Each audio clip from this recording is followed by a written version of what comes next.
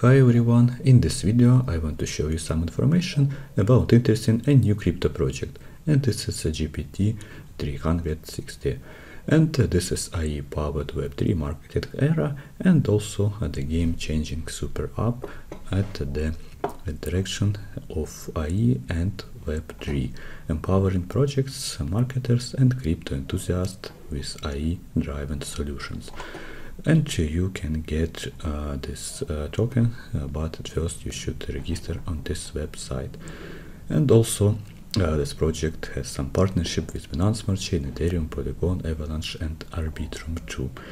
And also uh, this is a pioneering platform that stands at the forefront of integrating the dynamic world of Web3 with the expansive reach of Web2. Uh, also it is uh, Chaterium uh, network. Uh, it has battle pass, uh, sprints, and community engagement. Also increasing traction, user rewards, also NFT, and of course leaderboard and statistic too.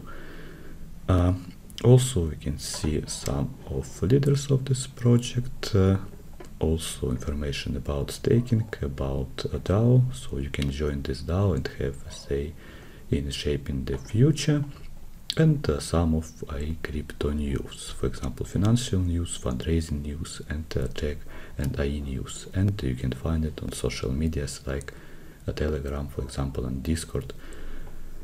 Uh, also, also some frequently asked, uh, questions, for example about Ethereum protocol, what is X rates, about affiliate network hub, so you can participate in this affiliate uh, program and earn some rewards. Also information about team and advisors of this crypto project. And uh, the next one is some of partners. And uh, you can see it on this uh, picture and also some of useful links, for example, social medias like uh, Twitter, Telegram, Facebook, and so on. Let me show you Twitter account of uh, GPT. Uh, so it has about 40,000 subscribers and many interesting posts about this project. For example, price pool, and you can participate in this. Some of campaign, also interesting video about this project, and so on. AMA session too. Uh, so I hope that you like my video about uh, CryptoGPT. Uh, goodbye and see you next time.